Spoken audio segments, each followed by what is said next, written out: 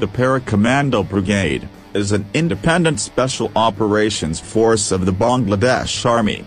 This Special Forces Brigade is headquartered at Sylhet, and is composed of two para-commando battalions. The involvement of special operations units in Bangladesh Armed Forces was initiated by the Bangladesh Liberation War in 1971.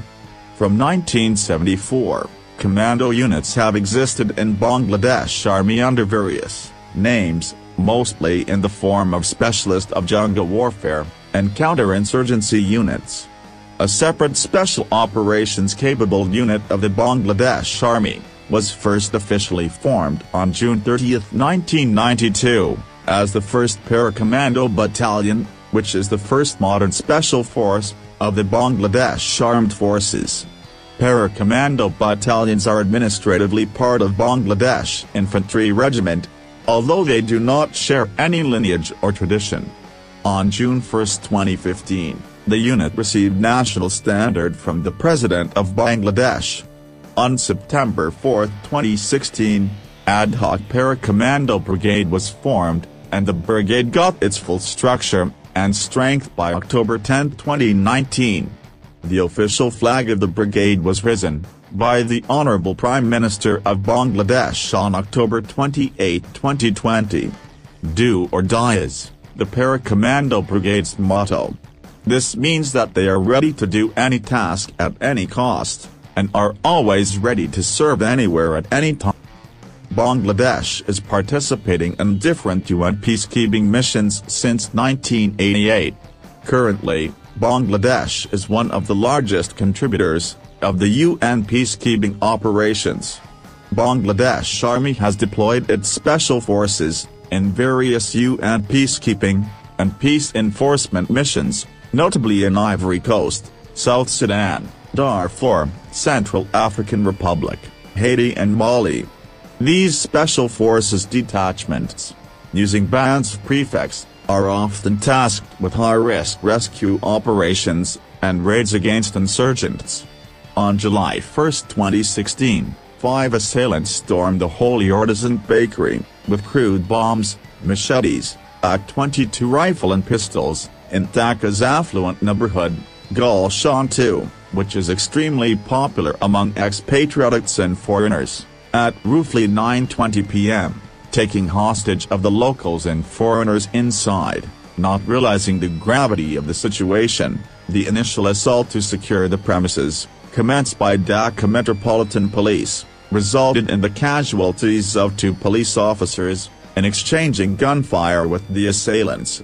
However, police and the Rapid Action Battalion acted, with celerity in setting up a perimeter around the bakery, to block escape of any assailant.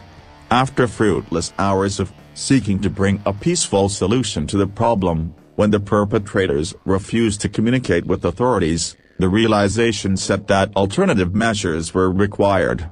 At an early morning meeting on Saturday, 2nd of July, the highest level of government decided to engage the 1st Commando Battalion. They were flown in from Sylhet to carry out a counter-assault and free the hostages. After Gathering intelligence from RAB and the police forces present on the ground, commandos initiated the raid, codenamed Operation Thunderbolt, which began at 7.40 a.m., and concluded as 8.30 a.m. They were successfully able to free 13 hostages, and kill the assailants. During the attack, nine Italians, seven Japanese, two Bangladeshis, one Indian, and one American were killed by the perpetrators. On Thursday, March 23, 2017, the Bangladesh police surrounded a suspected militant hideout in Dakshin Surma Upazila, Sylhet, Bangladesh. Later, a SWAT team joined the police unit from Dhaka. The housing complex has two apartment buildings. The police unit was reinforced with personnel from Rapid Action Battalion on Friday. On Saturday, the 1st Para-Commando Battalion took charge of operations, and named it Operation Twilight. Operation Twilight was launched by the 1st Para-Commando Battalion, of the Ad hoc Para-Commando Brigade of the Bangladesh Army, under the command of GOC of 17th Infantry Division, in Jalalabad Cantonment Major General Anwarul Momin. The main gate of the building was blocked by the militants, with the refrigerator with a night attached to it. The building had 30 apartments, and 150 rooms, the militants were constantly changing their location. The operation was launched on Saturday morning around 8 a.m. The commando unit was being assisted by SWAT and Bangladesh police. Security forces established a 3-kilometer perimeter around the militant hideout. The commandos rescued 78 civilians trapped in the building from Thursday. Two militants were killed in the initial attack, one of who detonated a suicide vest. The militants had planted odds all over the building, which slowed down the military operation. Army spokesman, Brigadier General Fakhrul Ahsan, reported that the operation would take more time, because of the presence of IEDs in strategic points in the building. The Bangladesh army used RPGs and shells, to drive the militants out without much success.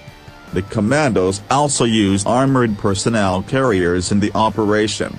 Finally four militants were found dead at the Bangladesh Special Forces, BANSF-3, in the United Nations peacekeeping mission launched an operation against rebels, in the Central African Republic.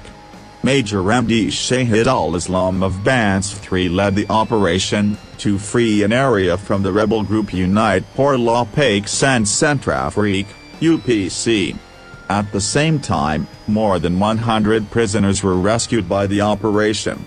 Bangladesh Special Forces, BANSF-3, operating in MINUSCA, has successfully launched an operation against FDPC armed group, in the Central African Republic. Due to various reasons FDPC stopped movement of all kind, of the vehicles and denied freedom of movement through, the Highway 1 of Central African Republic at Zoukombo village.